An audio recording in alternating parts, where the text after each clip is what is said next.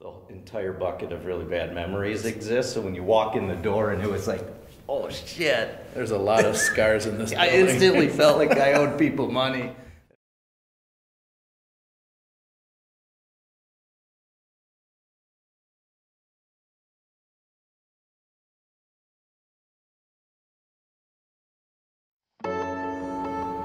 As our business model was failing, the writing was on the wall that we weren't going to be around much longer. Let's do something different that really just separated us from all the other breweries. And our investors were like, what are you, stupid? You guys just almost went bankrupt. Now you want to fix whatever problems you had financially and come out with Dirty Bastard?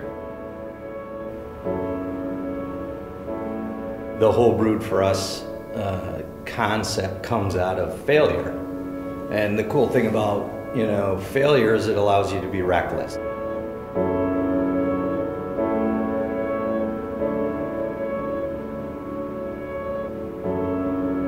That's really when we kind of sat down at the table and said, from this day forward, we're it's a new ball game.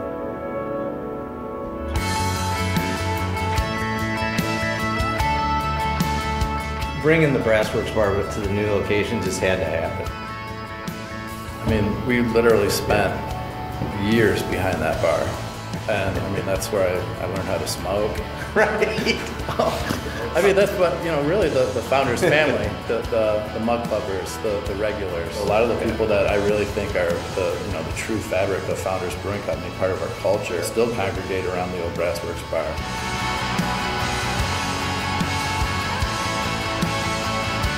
One day I found Founders, and the Dirty Bastard came along, and quite frankly, that's all I drink it.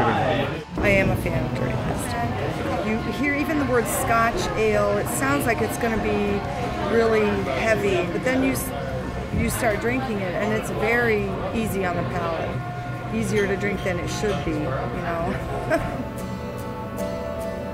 We didn't have Founders Pale Ale, it wasn't Founders Weizen beer, it wasn't Founders Red Ale, it was Dirty Bastard, and it was sexy, and it was fucking cool, and it was a bit irreverent, and it was us.